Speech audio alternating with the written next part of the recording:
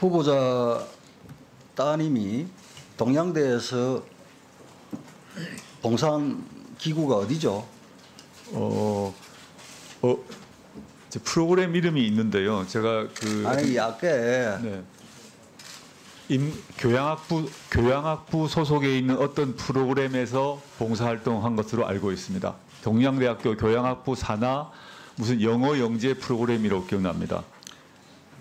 어깨 어느 의원 질의하실 때 영어 영재 교육센터냐 아니면 영어 영재 교육원이냐 하는데 후보자께서 명쾌하게 의원을 향해서 그 기관을 잘못 이야기하고 있다. 예, 동양대 교육학부가 교양학부가 주관한 영어 영재 프로그램입니다. 교양학부 주관 영재 영- 인문학 영재 프로그램입니다. 그러니까 그 기관이 어디냐고요.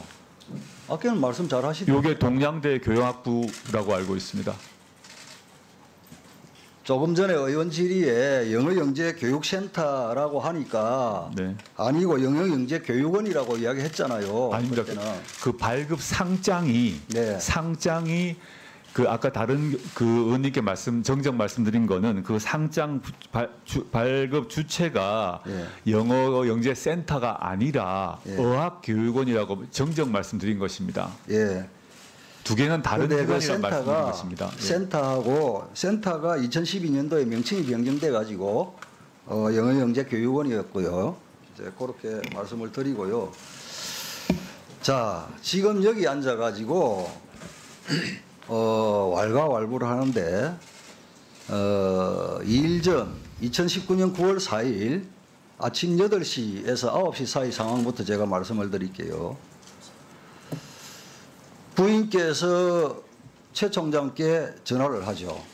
예. 전화를 합니다. 어, 그 내용은 미루어 짐작고 다 아시죠? 그런데 10시 54분에 조선일보 기사가 나가요. 표 총장이 위조됐다. 11시경에 바로 또 후보자의 부인이 총장에게 문자 발송을 합니다. 예? 그건 제가 잘 모르겠습니다. 예. 그리고 16시경에 전격적으로 최 총장이 검찰에 소환됩니다. 문자 한번 보시죠.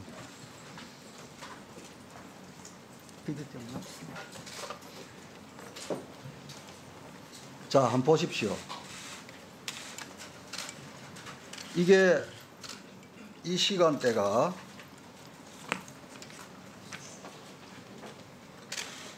기사가 나기 전, 아, 기사가 난 직후의 이 문자입니다.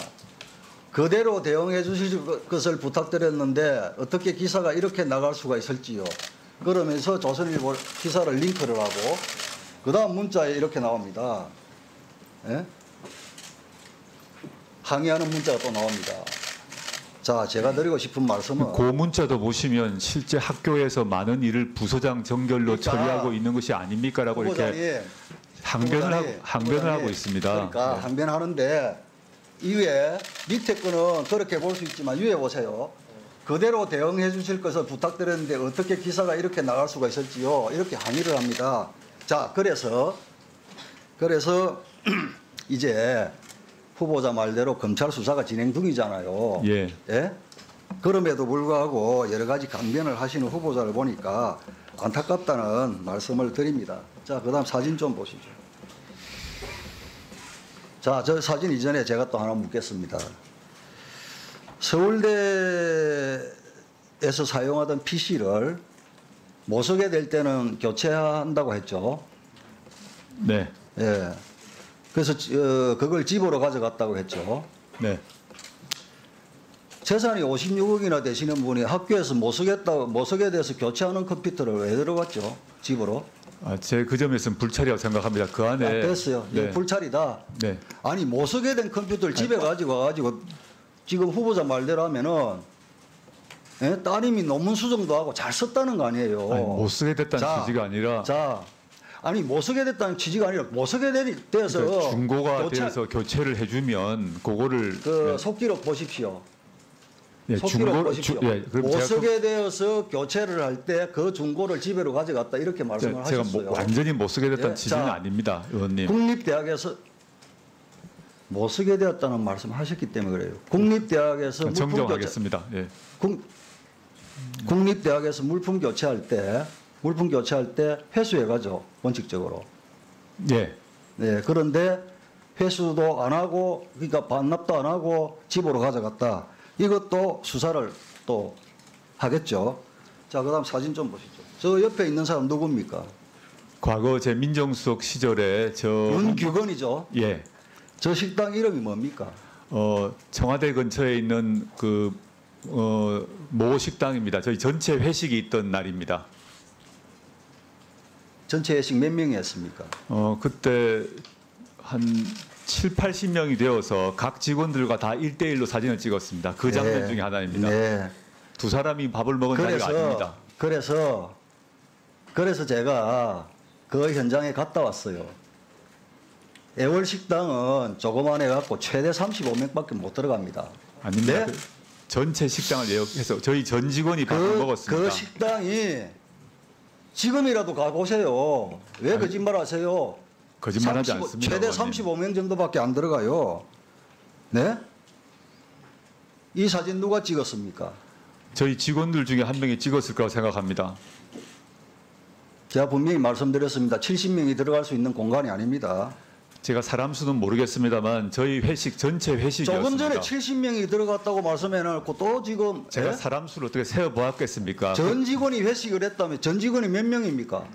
그 사람 수는 밝힐 수 없습니다만은 가- 그 당시 올수 조금 있는 전에는 70명 올수 정도 있는 갔다고 사람 했다가 올수 있는 사람들이 와서 그때 다 밥 먹고 아니 후보자님 네 조금 전에 제가 여쭈었고 후보자님께서는 제가 구체적으로 묻지도 않았는데 전 직원이 갔다 몇 명이 갔습니까? 70명이 갔다 제가 35명밖에 못 들어가는 식당입니다. 그러니까 인원수 말 못하겠다. 아니 제 말씀은 이런 취지입니다. 전 직원 회식이었고 전 직원 회식으로 공지가 되었고 그때 사람들이 계속 이동하면서 왔다 갔다 했습니다.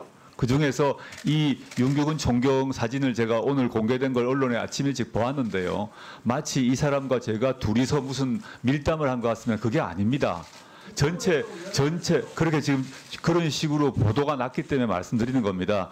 전체 회식 전체 회식 날에 제가 가서 테이블별로 돌면서 직원 개개인과 사진을 찍은 것에 불과합니다.